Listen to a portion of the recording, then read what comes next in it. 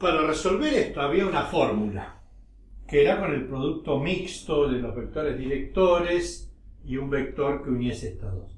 Pero lo vamos a hacer ahora de otra manera, aprovechando el concepto de proyecciones.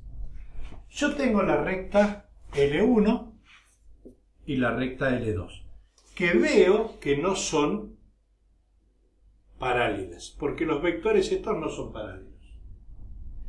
Podrían llegar a ser coplanares, podrían cruzarse. Vamos a ver, si se cruzan, la distancia me tiene que dar cero, y ahí serían coplanares.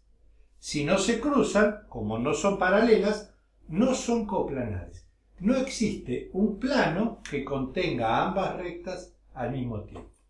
¿Mm? Así que vamos a ver ahora cómo hacer el planteo. Supónganse que acá tengo el vector. Bueno, este es el vector D1 de una recta, el vector D2 de la otra recta. Y ahora voy a dibujar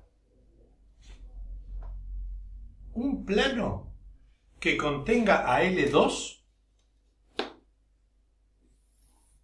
y que a la vez sea paralelo a la recta L1. Lo dibujo así aproximadamente. Este plano pi sub 2 contiene a la recta L2. Y voy a dibujar acá arriba otro plano paralelo a pi sub 2, pero que contenga a L1. Existen esos dos planos y son únicos. ¿eh? Vamos a suponer que me queda una cosa así. Un poquito más detallado. ¿Sí? Este plano pi sub 1 es paralelo a pi sub 2, este contiene L1 y este contiene a L2. No voy a usar las ecuaciones de los planos, voy a usar la idea. Habrá un punto acá donde un punto de esta recta que sea el más cercano a esta otra. Y ahí voy a tener la distancia que yo necesito. Esa distancia va a ser sobre una recta, porque es la menor distancia y es la distancia entre estos dos planos, va a estar sobre la normal a ambos planos. Esto es el vector normal a ambos planos. Muy bien.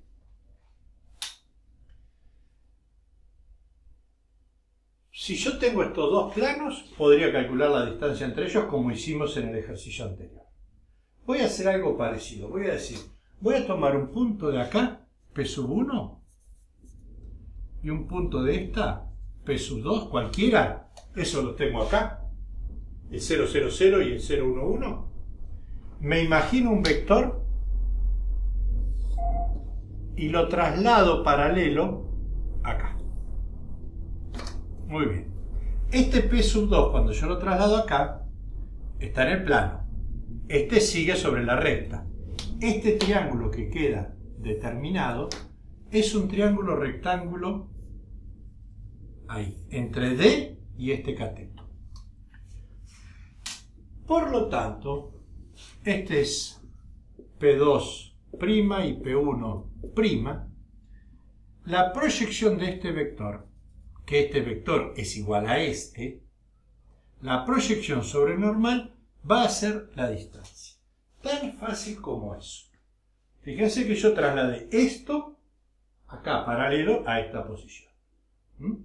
Esta distancia es la que estoy buscando. Lo tengo que tratar de ver, tengo que tratar de hacer el dibujo con paciencia. Entonces voy a decir que la distancia D es el valor absoluto de la proyección de P2' P1' sobre el normal. Como P2', P1' es el mismo vector que de P2 a P1, voy a decir que es la proyección P2 a P1, perdón, P1, sobre el normal. ¿Qué necesito hacer acá? Y necesito hacer P2, P1 producto escalar por el normal, dividido la norma del normal. Pero no tengo el normal, no tengo P2, P1. Bueno, lo voy a calcular. A ver. Un punto de esta, ¿cuál sería? P sub 1. Y cuando lambda vale 0, esto vale 0, 0, 0. Un punto de acá, P sub 2 es este. 0, 1, 1. Quiere decir que, de P2 a P1 tengo P1 menos P sub 2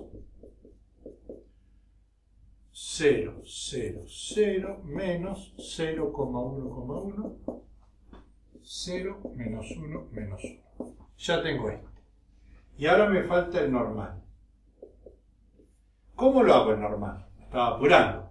El normal, que es perpendicular a este plano piso 1 y piso 2, tiene que ser perpendicular a D2 y a D1. La forma que yo tengo para calcular o hallar un vector normal a otros dos es hacer el producto vectorial o producto cruz. Sería IJK, a ver, D1 es este. 1, 2, menos 1. D2 es este. 1 menos 2, 0. Vamos a agregar estas dos filas IJK, 1, 2, menos 1 y hacer estos productos y les vamos a restar estos. A ver, 2 por 0 por i, 0 en i. 1 por menos 2 por k, menos 2k. 1 por menos 1 por j, menos 1 en j. Ahora estas diagonales. 2 por 1 por k, 2k. Menos 1 por menos 2, 2 por i, 2i. 0 por j, 0 en j. Así que ahora voy 0i y esto se lo resto, me queda 0 menos 2. Esa es la primera componente. La segunda es la j. Menos 1 menos 0. Menos 1 menos 0. Y la tercera va con k. Menos 2k menos 2k. Menos 2 menos 2. O sea que mi vector normal va a ser menos 2 menos 1 menos 4. Siempre que yo hago esto, verifico que este vector normal sea normal a este y a este otro. A ver, esto por esto es menos 2, esto por esto es menos 2, más 4. O sea, menos 2, menos 2 más 4, 0, listo. Ahora con este, menos 2 más 2 más 0, listo. Hago el producto escalar así rápidamente. Ya me quedo tranquilo que este vector es perpendicular a este y a este. Y ahora busco la, la proyección. D es valor absoluto de el vector de, P1, de P2 a P1. 0 menos 1 menos 1, producto escalar por el normal. Menos 2 menos 1 menos 4.